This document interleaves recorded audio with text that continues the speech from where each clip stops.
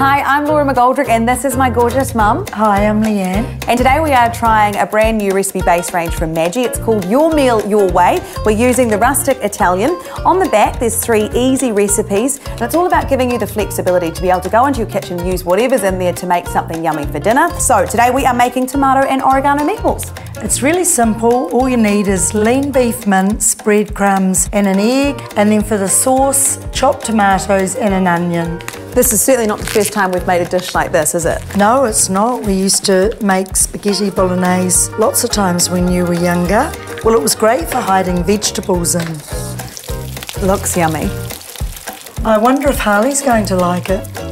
Well, you made it, so of course you will, but that is very nice. So here we have it, our new family favourite, the rustic Italian Maggi meatballs.